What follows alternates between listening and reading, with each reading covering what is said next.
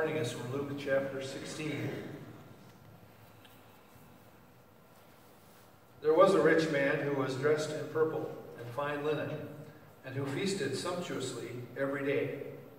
And at his gate lay a poor man named Lazarus, covered with sores, who longed to satisfy his hunger with what fell from the rich man's table. Even the dogs would come and lick his sores. The poor man died and was carried away by the angels to be with Abraham. The rich man also died and was buried. In Hades, where he was being tormented, he looked up and saw Abraham far away with Lazarus by his side. He called out, Father Abraham, have mercy on me, and send Lazarus to dip the tip of his finger in water and cool my tongue, for I am in agony in these flames. But Abraham said, Child, remember that during your lifetime you received your good things, and Lazarus in like manner evil things. But now he is comforted here, and you are in agony. Besides, all this between you and us is a great chasm that has been fixed, so that those who might want to pass from here to you cannot do so, and no one can cross from there to us. He said, Well then, Father, I beg you to send him to my father's house, for I have five brothers, that he may warn them, so that they will not also come into this place of torment. Abraham replied, They have Moses and the prophets. They should listen to them. He said, No, Father Abraham, but if someone goes to them from the dead, they will repent. He said to him, If they do not listen to Moses and the prophets, neither will they be convinced, even if someone rises from the dead. The Gospel of the Lord. Please be seated let us sing our sermon. Dear hearers of the Word of God, grace and peace to you from God our Father and from our Lord and our living Savior, Jesus Christ. Amen. Back when I was in the fourth grade in uh, Albert Lea, Minnesota, my parents decided to uh, take a trip to Minneapolis. My, my, my aunt lived there, and a couple of my cousins. And we were Albert Lea, it's about 90 miles away. And uh, I said, well, what else are we going to do? You know, fourth grader. Um, well, we're maybe to see a movie. And right away, I got excited. Because what was, what was playing was Godzilla versus the Smog Monster, you know? And I thought, well, maybe we can see that. Or the Aristocats, you know, a Disney movie about these cartoon cats. And everybody wants to be a cat, because a cat's the only cat who knows where it's at, right? And I thought, okay, well, movie. I go, what movie are we going to see?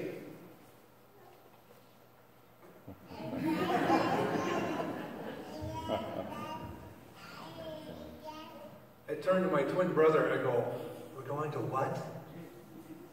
I go, what's it about? And he looks at me. What do you think it's about? It's about a fiddler on the roof.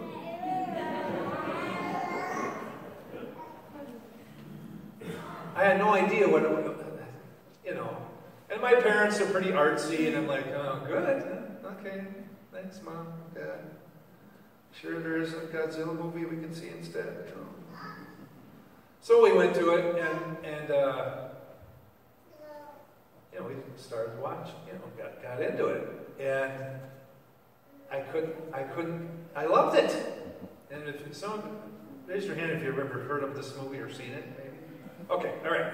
So and and uh, the song that kept coming in my mind, the one that I kept singing, you'll never guess. Well, that one was one of them, but also, how did you know that? Oh, she's my wife. Okay, good. if I were a rich man, you know. And uh, it's a great tune. kind of, you know, he just gets into it, you know, and he's singing, and he's, wow, this guy's pretty funny talks about one long staircase just going up, another one longer coming down. Oh, wait a minute, don't they go both? I was trying to think what, oh, I get it, you know. One going nowhere just for show, you know, all this stuff, never had to work hard, you know. And I think, well, yeah, wouldn't we all like to be that way? You know, I've, I've often thought of that. You know, what would it be like to be a rich man? Wouldn't that solve all my problems? You know, and I've, I've, I've never done it thinking if I win the lottery or a pull tab or gambling. I've only thought I would imagine if I won the Publishers Clearinghouse sweepstakes. So, and if you believe that. But you know, we think about that. What, what, you know, what, wouldn't that solve all of our problems? If I were a rich man, if money, wouldn't that just solve everything, right? That, that's what the song's about. We laugh about it, but then deep down inside we think, well, yeah, that would take care of it. Think of all the problems it would solve. Uh, it would just take care of everything. But then Jesus said last Sunday, last Sunday, you can't serve God and mammon. Riches, or mammon refers to money and the things that it can possess and buy, material possessions. So, you have on one hand, if I were a rich man, would take care of all of our problems. And we think, yeah, that, that would, you know. Uh, oftentimes, in a lot of cases, it would solve some problems, but would it take care of everything? Now, why did Jesus say you can't serve God and mammon? He could have said you can't serve God in politics, or you can't serve God in sports, you know, and, and Monday night there's going to be a battle, you know, and who knows who's going to win. But, but you know, that's Monday night football, so who knows. But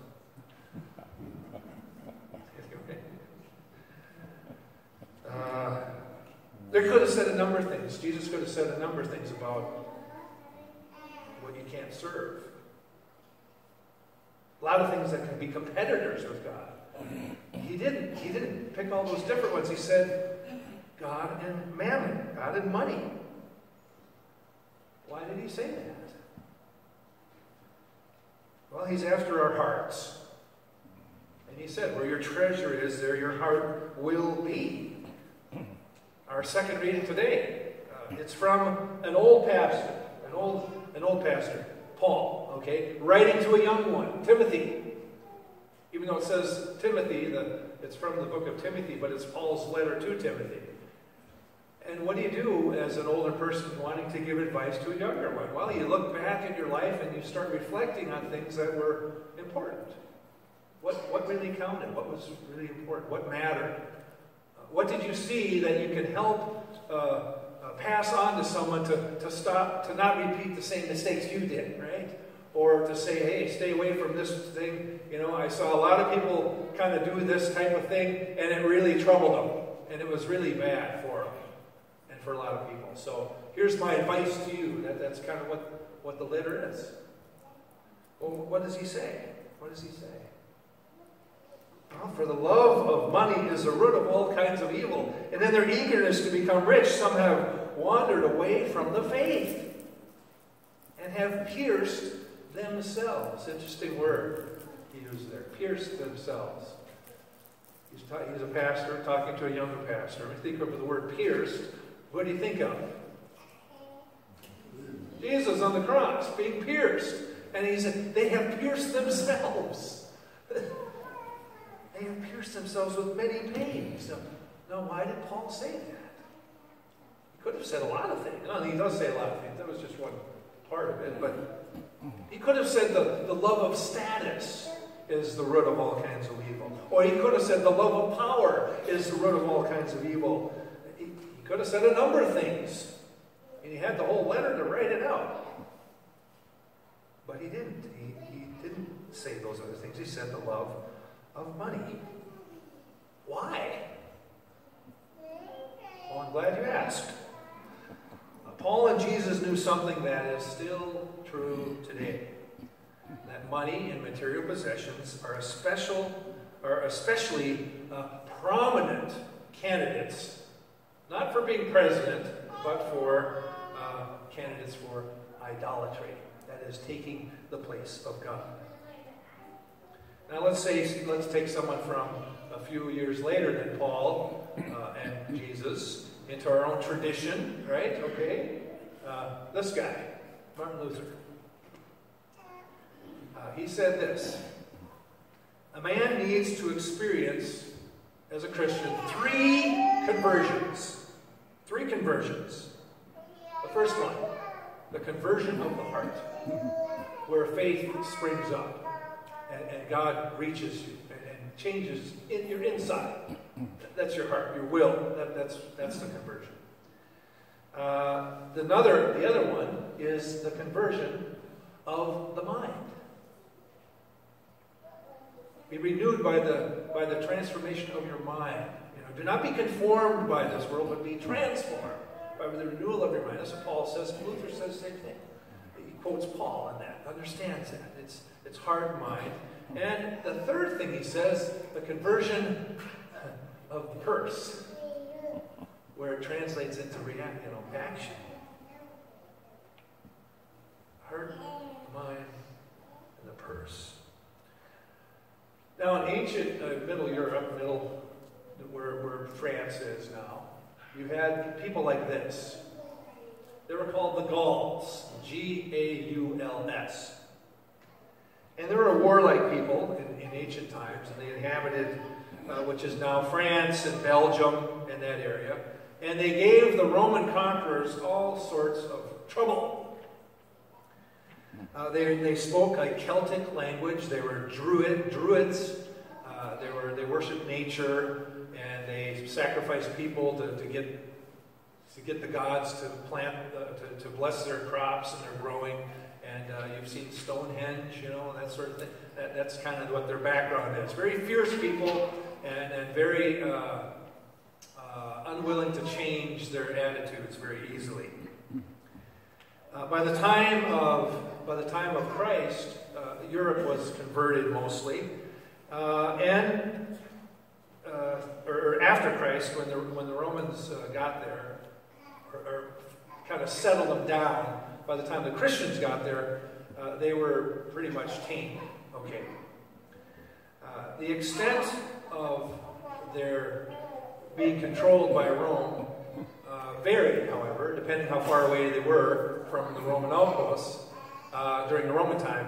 And there was, there was uprising. They, were, they fought the Romans. By the time the Christians got there, they had simmered down a little bit. But they still had that attitude Okay?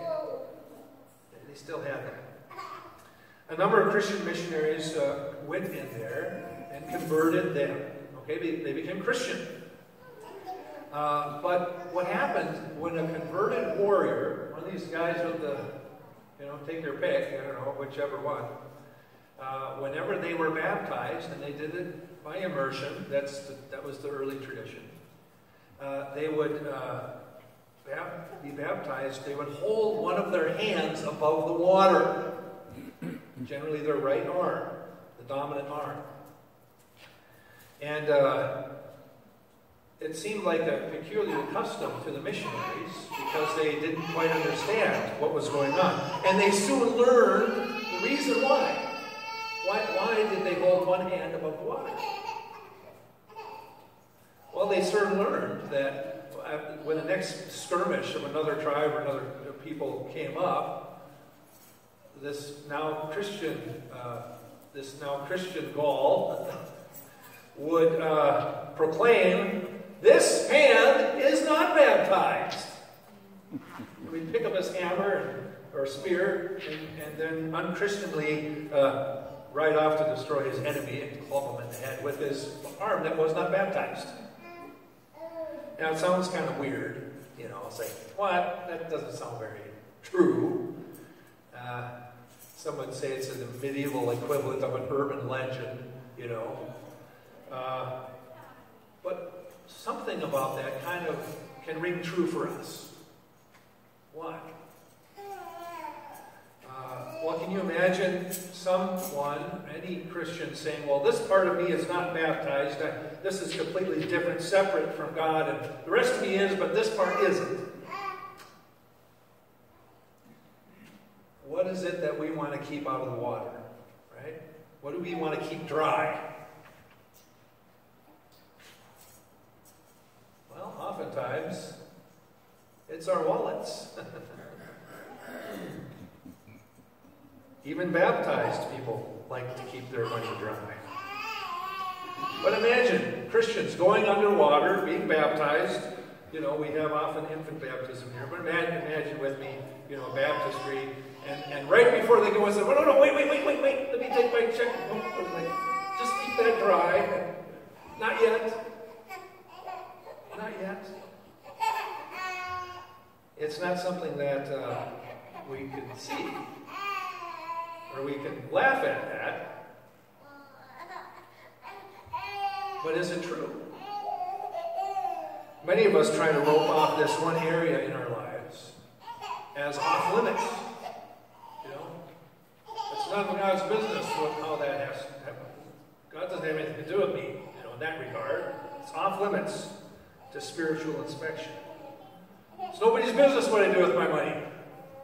But then we realize too late how foolish that sounds. It's just like the guys, this arm's not baptized, my wallet's not baptized. It's off limits.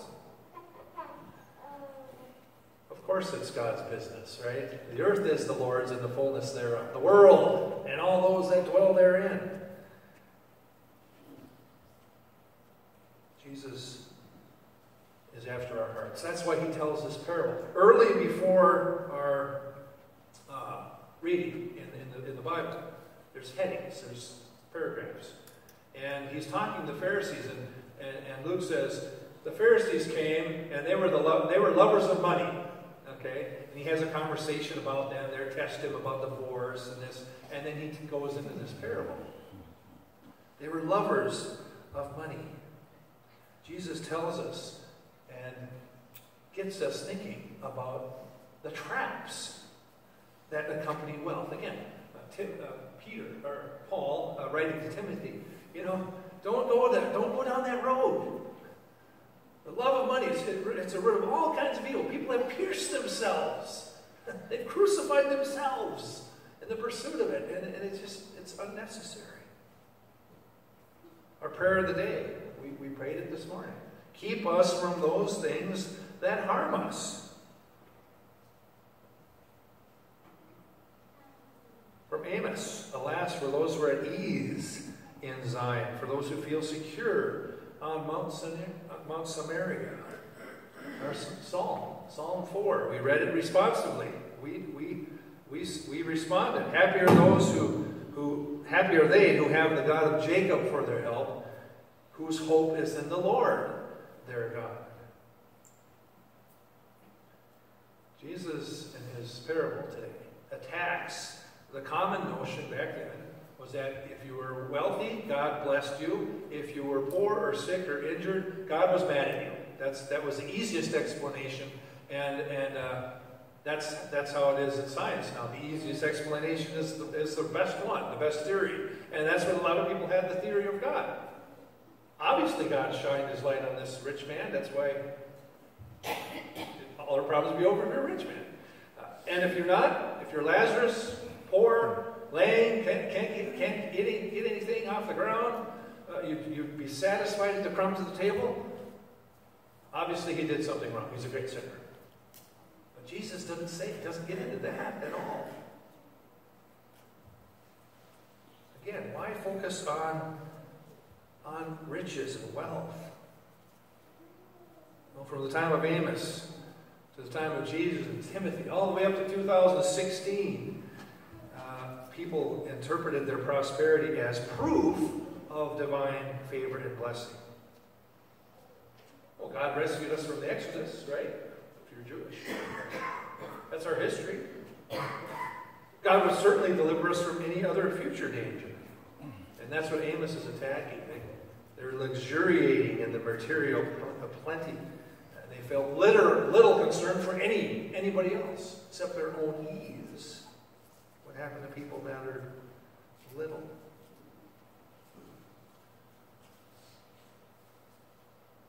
The parable of the rich man is interesting. Here's a painting of a rich man. Which one is he? I, I looked at that and I'm like, well, which? I couldn't tell which one was Lazarus because it was painted and they all were wearing stuff. And then I said, oh yeah, the dogs.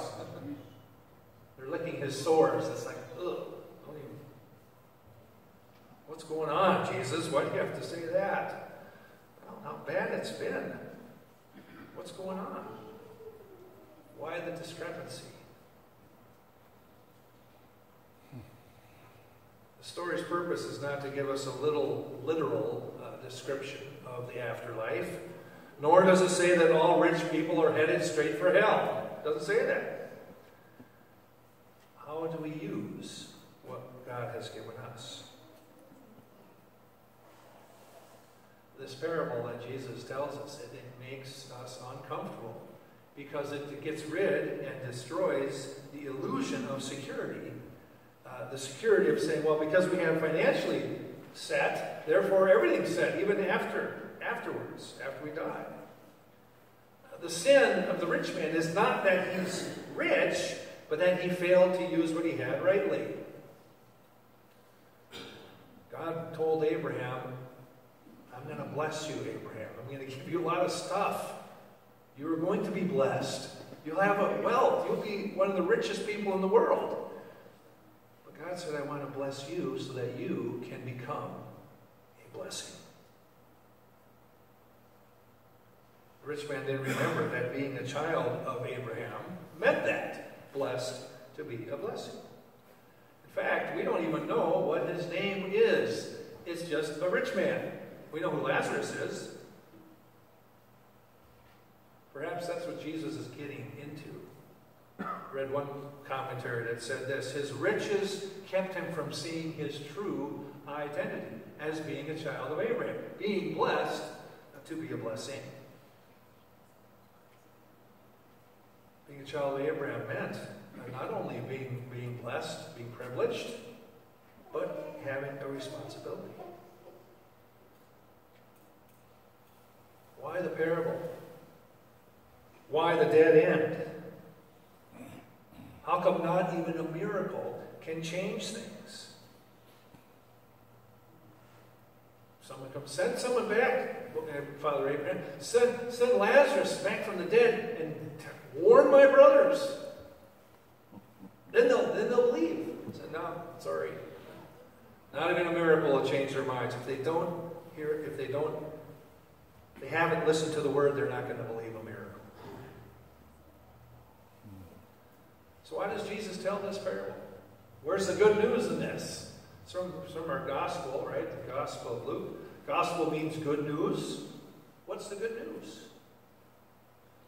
Well, like the rich man and his brothers, we also have access to the riches of God, the Word of God, Jesus, the Word made flesh. We don't need miracles. We don't need people being raised from the dead. We have the living Word. And we have the written Word, the spoken Word, the sung Word. We have the promises of God that we can access. It's the same word that Jesus used when he fought the devil when he was in the wilderness. Jesus didn't use a stick or a slingshot or a, or a spear against the devil. He used the Word of God. That's what we have. The Word speaks to us today. And what does it say to us? What does it remind us? That it is not what we possess or don't possess that give us our identity. What matters is who possesses us. Who has ransomed us with his own blood? Who has uh, paid, our, paid the price of our sins, not with silver or gold, but with his holy and precious blood and innocent suffering and death? It's Jesus himself. That's the good news. Our status with God is out of our hands and into the hands whose hands were pierced for our sake. They weren't pierced because he was searching for riches and he couldn't get it and never had enough and kept searching until he died. No, his hands were pierced for our sake. St. Paul says, You are not your own. You have been bought with a price. And since Christ now is our life, we don't have to keep on hanging on to things or searching after things. Greed is concerned with getting, and the gospel is concerned with giving. what did Jesus give us? He has given us Jesus, who, though he was rich, yet for our sakes became poor, so that by his poverty, his giving of himself, we might become rich. We've got nothing to lose. Thanks be to God who has given us the privilege, the responsibility, the blessing to share what He has given us ourselves, our time, our possessions, our life, our salvation. We don't have to imagine if we were a rich man. We are. Because of Jesus. Thanks be to God. Amen. Okay.